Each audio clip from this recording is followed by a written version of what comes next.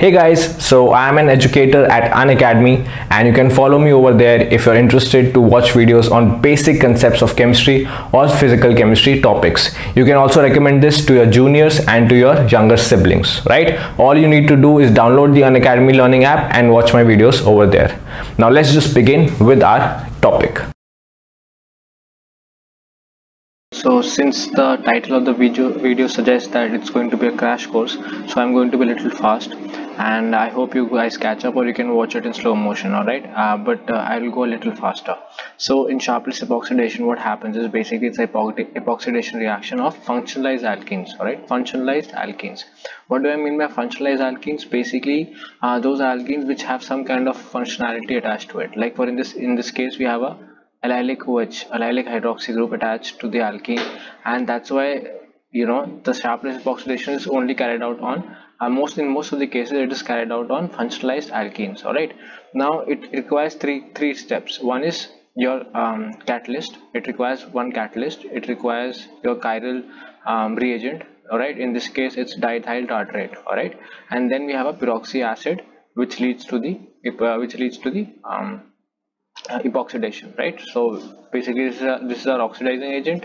Um, diethyl tartrate is our chiral reagent and which leads to the enhanced selectivity of the reaction. And then this is our catalyst titanium catalyst. The structure for the titanium catalyst i have shown over here. So in case some some of you are interested you can see the uh, complex structure of the catalyst um, all right. So now let's see what how do how do we get the enantioselectivity or the enantiomeric excess whatever you like to call it. Uh, like how how do we get that? So um, to find that out first of all you should know what is a re phase and Si face all right? What should what is a re phase and what is a Si face and how to find out in case of alkenes you should know that. Re phase and Si face okay so Si face is basically your minus diethyl tartrate your minus DET your minus DET attacks from the Si face and your plus DET attacks from the uh, rephase all right so like over here in this case we have been given plus DET so first of all let's find out what is the rephase and what is the Si face so in this alkene um, we'll see the stereochemistry at this alkene at this this particular alkene this one over here which is next to the OH group all right so you always see the uh, re or Si face from this alkene which is next to the um, next to the OH right so um, in this car to this carbon we have one carbon over here that is attached and then we have one carbon on this side that is attached right? So these two carbons are attached to the carbon to which we are seeing the re or Si face. Uh, now to this carbon we have an oxygen group attached which, which is of higher priority. So this carbon will be given priority number one and this this carbon will be given priority number two right? According to the Cahn-Ingold-Prelog um, rules right? And then hydrogen will be given priority number three. So if we find out the uh, RNS if we try and find out the RNS I mean it's it, it won't have a RNS nomenclature but just find out whether what how is it going. So one two three so it's going like this. So this is S nomenclature right? Because it's anti-clockwise. So this S corresponds to Si face.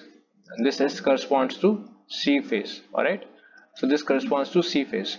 Now since this is a Si face and I told you that R plus uh, so basically what that means is this is a Si face means the place where you're sitting and watching this molecule from is a Si face. That is above the plane is the Si face because you you are watching in front of the screen so you are above the plane basically. So this is your Si face all right and I told you that the diethyl tartrate it it uh, attacks from the um, rephase. So the place where the place where you are sitting is the Si face and behind the screen is the rephase. And since the plus diethyl tartrates attacks from the rephase that is why your epoxide is going to be formed uh, below the plane all right so the epoxide is going to be formed below the plane and that's how you find out the stereochemistry in sharpless epoxidation reactions all right so many of you many of uh, the the educators have seen they teach re and Si face uh, by showing by you know by telling that diethyl tartrate attacks above the plane or below the plane that's absolutely incorrect. You have to see whether it's the re phase or the Si face and then accordingly uh, you have to manage uh, what kind of reaction will take place all right? So let's see some of the reactions. I'll take a few examples and then the rest you can solve on your own. So we have this compound over here. Let's talk take talk about the first example. Um, so let's let us assign the priorities. So this carbon we are talking about over here uh, right. So this will be given priority number one because to this carbon we have oxygen attached. Uh, this will be given priority number two this carbon because uh, here also here also we have a carbon. So both the places we have a carbon but this carbon is attached to another carbon whereas this carbon is attached to three hydrogens. So this will be given priority number three. So again one two three. So it's going like this. So that means the place are, where you are sitting is the Si face because it's anti-clockwise. So the place we are sitting is the Si face and we are adding plus so these are uh, different kinds of um, chiral catalysts like plus DMT. Then there's diiso diisopropyl tartrate that is DIPR, diisopropyl um, tartrate, DIPT, sorry, DIPT, diisopropyl tartrate. So they will also have plus and minus. So whenever you see the plus sign, uh, just think of rephase. Um, so this the place we are sitting is the Si face that is above the plane, and the attack is going going to take place from the rephase uh, so that means the attack will take place from below the plane and you'll have the epoxide formed below the plane. All right and now I'll discuss the second example and the third and fourth you can try it out on your own. Okay? Again the same thing. Um, this carbon will be given priority number one right? Um, this carbon will be given priority number two. And then we have a hydrogen over here which will be given priority number three. So again this is again the Si face. And so that means the place you are sitting is the Si face. But now we are adding minus diethyl uh, diisopropyl tartrate. Now minus signs means minus attacks from the Si face. And right now the place you are watching where you are watching the molecule from is the Si face. That is above the plane is the Si face. And that is why in this case your epoxide is formed above the plane. So I hope you understood the concept of sharpless epoxidation. It's very simple. Alright and it is used for functionalized alkenes just remember that now the next uh, we are talking about is Jacobsen epoxidation and this is particularly used for unfunctionalized alkenes so you can see there's no functional group attached to the alkenes and that is why this is important. So sharpless epoxidation is only used for uh, mostly used for uh, functionalized alkenes and Jacobsen, Jacobsen epoxidation is used for unfunctionalized alkenes all right so the concept is pretty simple. We are adding bleaching powder NaOCl all right NaOCl then we have the Jacobsen's catalyst which is a manganese catalyst. Now just focus over here. This is the manganese catalyst uh, and we have Mn over here. So what does this bleaching powder what it what the bleaching powder does is it it uh, you know gives away its oxygen to the manganese. So you can see there's the oxygen attached right? So this oxygen comes from your bleaching powder.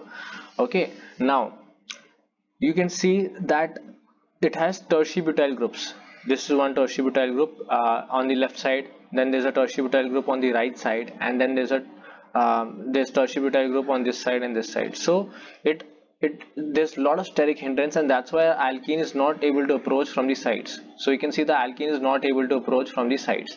Similarly the alkene is not able to approach also from below the plane. So the only place the alkene can approach is from this side this side over here and the the stereochemistry of the epoxide depends upon the stereochemistry of this group okay this group. So in this case um, both of these groups are R configuration but I've taken the example of SS Jacobsen's catalyst. So if um, if over here the stereochemistry is SS then it will be the SS Jacobsen's catalyst and if the stereochemistry is RR then it will be RR Jacobsen's catalyst. Uh, so in the exam if such question comes up um, then you just need to find the stereochemistry or if they have mentioned it's RR or SS then you can do it accordingly. So if, if it's the SS Jacobsen's catalyst what you need to do is simply you have to draw this as the product. That the epoxide is formed above the plane and like this the same way where I have drawn the product alright? Um, so the mechanism of this uh, if you want to know the mechanism the mechanism is quite simple. So we have R group um, then we have the alkene and like this.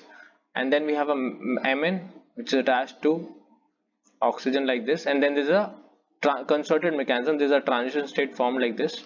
Okay there's a transition state formed like this and then uh, your epoxide is formed alright? So the epoxide is formed above the plane in case of SS Jacobsen's catalyst and the stereochemistry of this epoxide will be opposite in case of RR Jacobsen's catalyst. So all you need to do is find out the stereochemistry at these centers. If it's SS uh, then the epoxide will be formed above the plane and if it's SS then the epoxide will be formed uh, the stereochemistry will be opposite of what we have over here right the third case is a Shi epoxidation. Now in Shi epoxidation, always remember again, it is used for trans alkenes.